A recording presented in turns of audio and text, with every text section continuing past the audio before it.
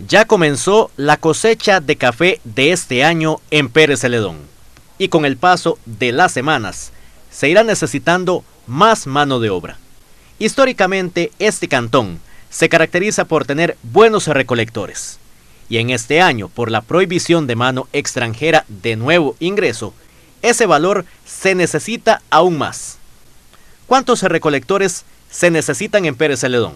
En el momento pico vamos a estar ocupando cerca de las 8 mil eh, personas y de ahí en adelante, eh, a partir de agosto, septiembre, octubre y noviembre, vamos a estar ahí en, un rango de, de 4.500, 5.000 hasta 8.000, que es el, pico, y posteriormente empezamos a disminuir nuevamente a 5, 6, hasta que terminamos con mano de obra prácticamente local, que, que son cerca de 2.000, 3.000 personas. Autoridades y miembros de la sociedad generaleña llaman a ir a los cafetales este año y evitar que se pierda una cosecha de alta importancia para nuestra zona.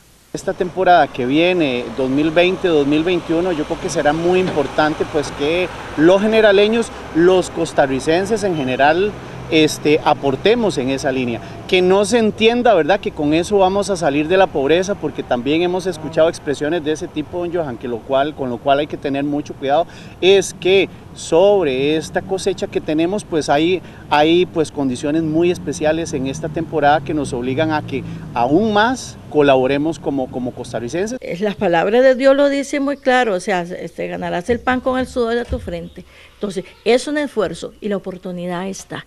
Y sería muy lamentable y muy triste que el café se pierda porque no hay manos que vayan a recoger ese grano de oro para tanto para aportar a la sociedad como para tener los ingresos que como familia necesitamos nuestra comunidad, nuestros eh, hogares para salir adelante y para tener los recursos básicos para una vida digna y respetuosa. Creo que hay bastante eh, fuente de empleo en, el sector cafetalero y el, el café a través del señor Román y la directiva han tratado de hacer un esfuerzo grande en ese sentido, pero los los ticos a veces tenemos el orgullo muy grande y, no vemos que, realmente el dinero está en la calle y lo que hay que hacer es trabajar para obtenerlo de, una manera no fácil y, como dice nuestro himno nacional, este, estar orgullosos de, realmente el grano del café, que es parte de lo que nos identifica como ticos. La ventaja de, Pérez Celedón es que más o menos el 54%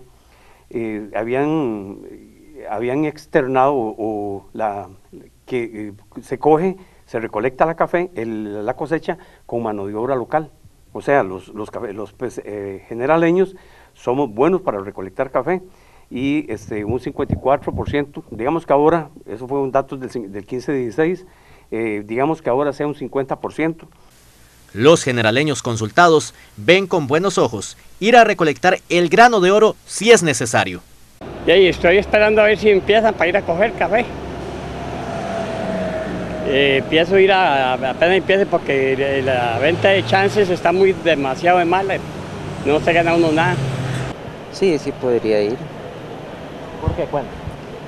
Bueno, es una forma de trabajar, este, es un trabajo, sea como sea, y es orgullo de nosotros en la recolección de café. Claro que sí, no habiendo trabajo hay que hacerlo, hay que trabajar, no hay que... Es una forma de ingresos para cualquiera y es un trabajo fácil que cualquiera lo puede hacer. O sea, no, no es un trabajo que, que, es muy difícil ni nada. Es bonito, yo iría a coger café, claro que sí. Pero ¿cómo se pueden inscribir para ser uno de esos recolectores? En la página del Café está el formulario. Hay una plataforma donde los productores que requieren mano de obra para la cosecha que se avecina puedan registrarse y decir, bueno, necesito 5, 6 o 10 o 15 o 20 eh, recolectores. Entonces, este, eh, eh, se está alimentando esa, esa, base de datos y si el agricultor o el, cafetalero requiere de mano de obra, lo que hace es que se comunica a la oficina regional del Instituto del Café, en el caso nuestro, al 2103-8483. Y es que la producción de café en el Valle del General es alta y la mano de obra es necesaria. La estimación oficial mm, anda por ahí de unas 204 mil fanegas, sin embargo esa fue la, primera estimación que se realizó, ya ajustada, eh, estamos haciendo el ajuste o la, revisión de, información para la segunda estimación y estamos considerando de que eh, probablemente nos quedamos cortos con ese dato y vamos a andar en unas 230 o 235 mil fanegas. Esa es la esperanza nuestra. Según el Instituto del Café en Pérez Celedón, pueden haber unas 3.500 fincas cafetaleras.